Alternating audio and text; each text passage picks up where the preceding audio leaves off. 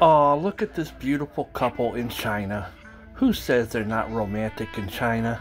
This guy and his lady all alone in the water just enjoying each other. What could be better than this? Just two young lovers against the world.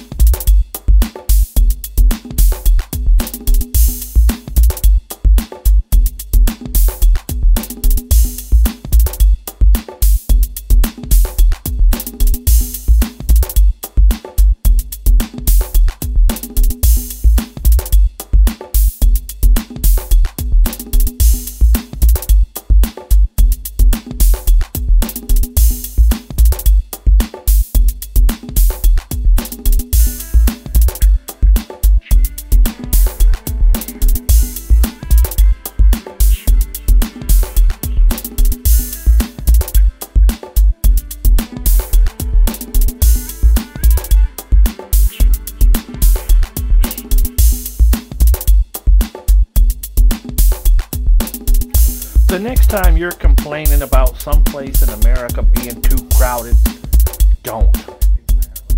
Just don't.